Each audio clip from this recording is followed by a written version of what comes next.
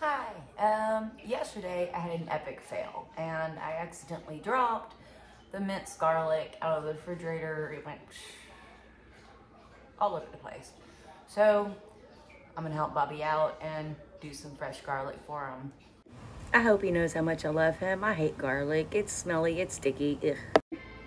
There you go, honey. Minced garlic. Sorry I broke the jar all over the place. Thank you for helping clean it up.